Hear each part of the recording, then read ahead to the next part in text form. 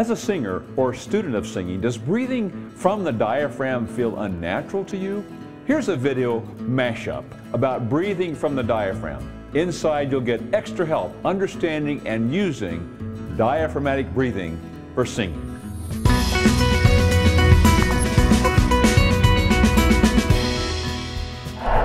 Hi, I'm Chuck Gilmore with Power to Sing.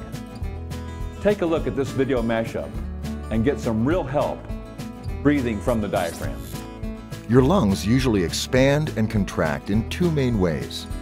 One is an unconscious downward and upward movement of a thin muscle called the diaphragm, which separates the chest from the belly. We breathe in or inhale when the diaphragm contracts.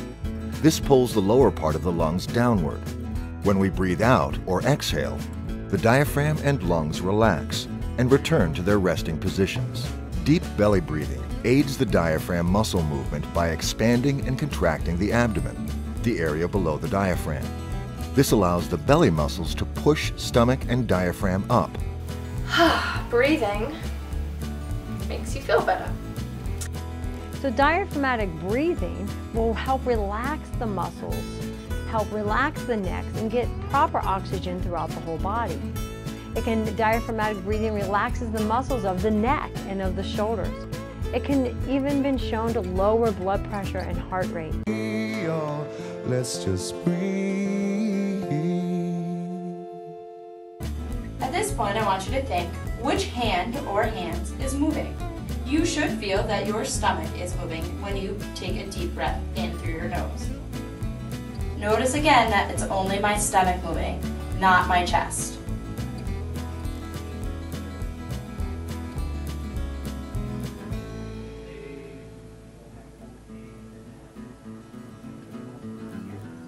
So once you've mastered the lying down diaphragmatic breathing technique, the next progression is sitting up. You're going to take that deep breath in through your nose, make it all the way down into your belly, make your belly expand, deflate your belly, and exhale through your mouth.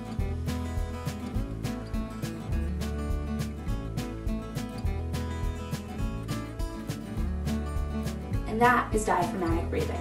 Breathe,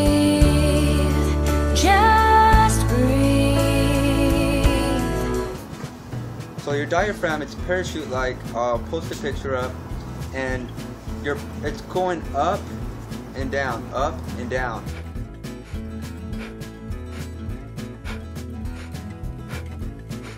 Take deep breaths. I breathe in through my nose. Sometimes I close my eyes or just take deep far as the diaphragmatic breath goes, uh, per our last post we talked about, when you breathe in, um, the abdomen, the uh, diaphragm actually moves down, and the, and the stomach actually protrudes outwards, and that's the effect that you want to get when you do a, a full, complete diaphragmatic breath. Okay, so let's have um, Heather do this just to show you guys. And then relax. Okay, and then again, all the way up, so you can see, rising here.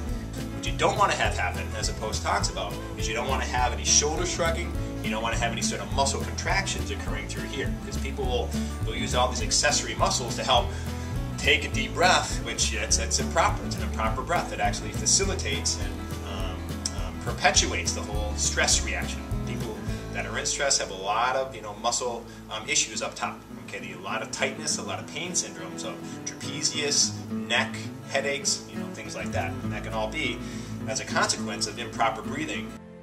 Have you ever watched a baby breathe? They breathe so gentle so non forceful, so easy. They breathe from their stomach instead of their chest like we do as adults.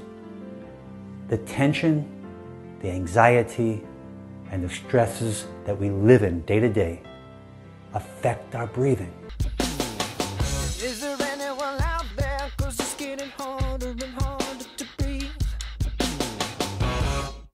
So one tip, two tips you can do.